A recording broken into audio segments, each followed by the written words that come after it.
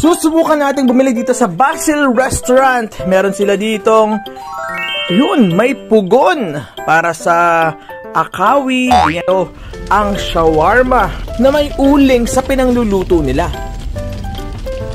Yan, si Kenzo at si Jiro excited na sa kanilang order. Ito si Kuya, piprepare niya yung ating shawarma. Ang big shawarma ay 10 reals at ang small ay 5 reals dito. Yan. Siyempre may mayo yan. Siyempre, siyempre. At lalagyan niya rin yan ng yun, french fries. Yun, yun ang pickles. Pickles na cucumber. At lalagyan niya ng ketchup sabi ko sa kanya, huwag spicy. Pero dahil excited siya, ayan o, lalagyan din niya ng, yun, yun, yun, yun, spicy. O, di ba ang galing para sa mga bata?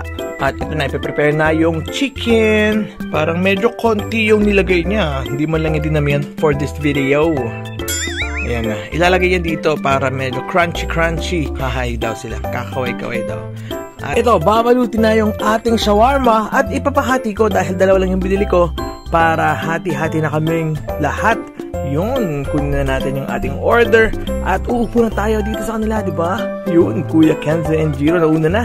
Masarap ba, Mami? Hmm, ano kaya? And, yun, masarap daw, crunchy. Sige, kain na muna kami. Bye-bye!